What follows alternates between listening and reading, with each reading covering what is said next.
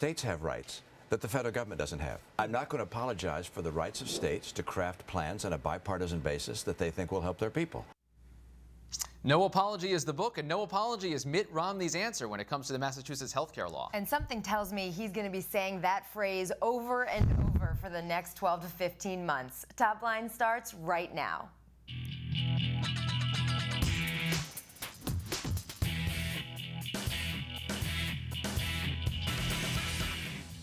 Hello and welcome to ABC News Top Line. I'm Rick Klein. I'm Karen Travers. Every day at noon Eastern, right here bringing you the latest in politics. It's twitter.com slash Rick Klein, twitter.com slash Karen Travers. Karen, what has caught your eye today? Taste of tea. Yesterday in Florida, a federal judge ruled that the Obama administration's healthcare overhaul law was unconstitutional because of that individual mandate. And there is language in there that has Republicans and Tea Party activists very giddy.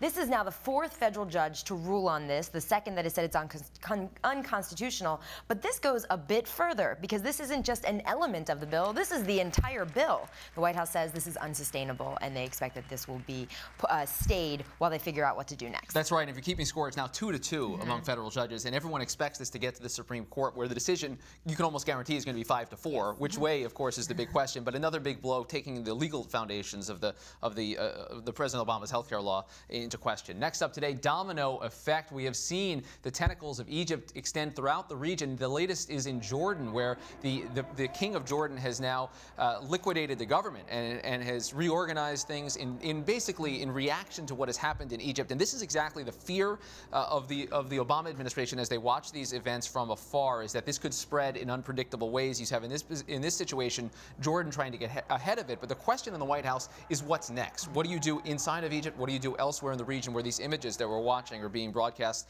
across the world? And as those questions are still out there, you're seeing silence from President Obama. Another day today with nothing on his schedule where reporters could ask him questions. They don't want him saying right. anything as they wait this out and see where it goes. Next up, testing Tester. Jon Tester is going to have a challenge in his Minnesota, uh, Montana Senate race from Denny Rehberg.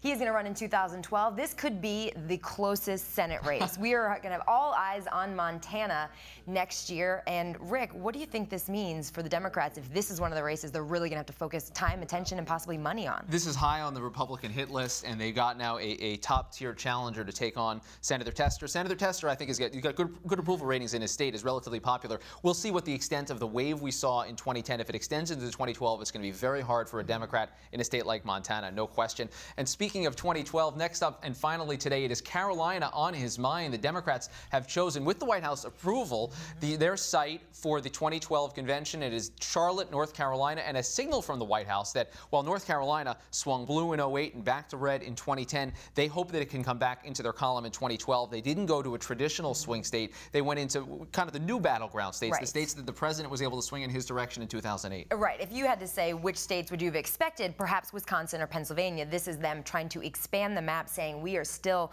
playing a very strong offense. The White House has been very clear from day one in 2009 that North Carolina was in their sights. Remember the Obama's vacation there yes. in 2010? You saw many, many visits from Obama, the First Lady, the Vice President, and even Jill Biden going down there. They want to have a presence there. Here's guessing that John Edwards is going to be vacationing far away from the state if the Obama White House has anything to do with it. We begin today's program with former Senator Norm Coleman, a Republican of Minnesota, and the, the CEO of the American Action Network. Senator Coleman, thanks for being here. And I, I want to start with the events that we're seeing unfolding in Egypt. How, from your perspective, is the White House handling it? Should they be putting more pressure on President Mubarak to step aside? The White House is doing what they can do now, which is actually very little. Uh, we'll see how this thing plays out. Mubarak's going to be gone. Uh, there is a need for a transition period. If there's no transition period, then the, uh, the Muslim Egyptian Brotherhood kind of moves in, I, and that's the great fear. This is not good for Israel. This is not good for America. On the other hand, Mubarak isn't going to be there. However, if there's one criticism I have, it's that the White House didn't have an active democracy agenda beforehand. And so all of a sudden now we are captive of the events. Uh, as things are playing out now, the White House is doing what it can do, which is really very, very little. So, Senator Coleman, are you saying they could have done something more? I mean, we're obviously talking a lot about the president's Cairo speech from 2009, but what could the White House have done in that democracy agenda to be in a better position right now with the situation in Egypt? I think the White House abandoned the democracy agenda because it was the Bush agenda. And had the White House been working uh, more closely with forces of democracy in Egypt, understanding that Mubarak could not continue on forever, that there had to be a, uh, an alternative, an answer somewhere down the road, uh, we might have been in a better position. Uh, listen, it's easy to kind of look back. That's the reality. Now the White House is doing what it can do. Uh, and that is kind of straddling. It, it's not casting Mubarak totally overboard, but the White House knows, I think the world knows, Mubarak's not going to be in charge of Israel in, in the near future. What we're hoping for now is simply a transition period to give legitimate forces of democracy, those people really concerned about civil society, perhaps folks who can keep the peace with Israel in place, give them a chance to organize. That's not the reality right now. A quick change would not be a good thing for Israel, not be a good thing for this country. Hopefully, we'll have some period of transition. Senator, I want to turn your attention a little bit to the work that you've been doing at the American Action Network, uh, particularly in outreach to Latino voters. And you organized a conference a couple of weeks ago to, to try to to try to bring the party closer to Latino voters amid signs that uh, that they've been drifting away a little bit. What signs are you seeing on, on Capitol Hill and beyond that the Republican Party can win back the, the trust and the support of Latino voters? Well, the election of uh, Marco Rubio in Florida uh, the reality of the two Hispanic governors, new Hispanic governors of both Republicans, uh, the reality of a Hispanic uh, winning a seat in Idaho congressionally that's not a Hispanic district, uh, Labrador, uh, is a good thing for our party. All that said and done, we've got a problem. Uh, Hispanics represent the largest ethnic minority group, the largest, fastest growing ethnic minority group, 30% of the U.S. population by 2050, and we have a problem. We have a tone problem and we have a reality problem. But the opportunity is there. You're seeing it with the folks who are being elected. You're seeing it with the simpatico, with the Hispanic community, on family issues, on trade issues, on, on entrepreneurial small business issues. But we have some challenges that we have to address. American Action Network is kind of stepping out into that. Uh, we're going to you know, talk about a solution to immigration somehow, somewhere between chipping everybody out and, and amnesty, there's got to be a solution. Uh, we have to address this issue because if we don't, uh, we're not going to be a majority party in the in the future. Senator, you say it's a tone issue, but some Hispanic groups say it's more than just that. It, it's a fact, it's the issues. So, what do you expect, or what, what would you like Republicans in Washington to put forward on an agenda over the next year or two to put you in a better position for 2000, 2012 so Republicans can uh, win back Hispanics? Let me be very clear. It's not just a tone issue, it's a substance issue. We have to be very clear in rejecting Tom Tancredo as saying he's not the voice of the Republican Party on issues dealing with Hispanics immigration. Uh, what we have to do is simply have a proactive agenda. There are some issues where we have an advantage. We have an advantage of a party that supported trade. The Colombia Free Trade, the Panama Free Trade Agreements are, agreements that should be put through. Uh, there are a lot of Hispanics who are concerned about those things. That's in our wheelhouse. There, there are family issues, there are tax issues. We've got a lot in our wheelhouse. We have to be, I, I think, more open on dealing with immigration, understanding that there are legitimate concerns about border security and being aggressive in that regard, but not limiting the conversation to simply talking about border security. So we've got to got to step out a little stronger on this. It's not just tone. I, I, I agree with those who say it's more than tone, but tone is, is, is still part of the problem.